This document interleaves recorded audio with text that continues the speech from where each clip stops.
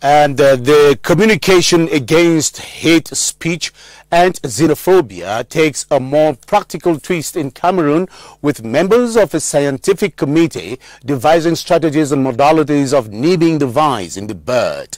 The discussions are taking place at a national colloquium against hate speech holding in Yaoundé under the auspices of the National Commission on Bilingualism and Multiculturalism. Mokwele Prince Willaduma picked some key notes from today's opening and compiled the following report. A coffee break at the colloquium revealing communality, original character of the Cameroonian public. But inside, members of a scientific committee and those of the Bilingualism Commission listened to a contradiction of what Commission Chair Peter Mafany Musonge presented as sad realities of hate speech and xenophobia.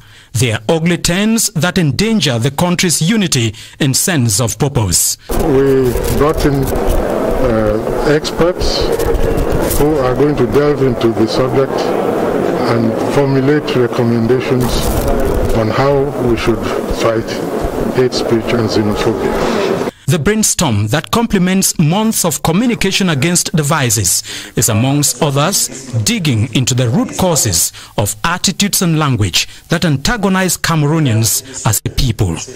I think it's ignorance.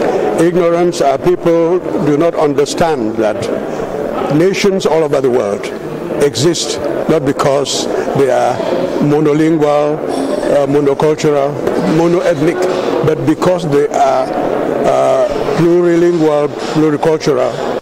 The colloquium is expected, therefore, to recommend practical measures to dismantle the network of these common enemies.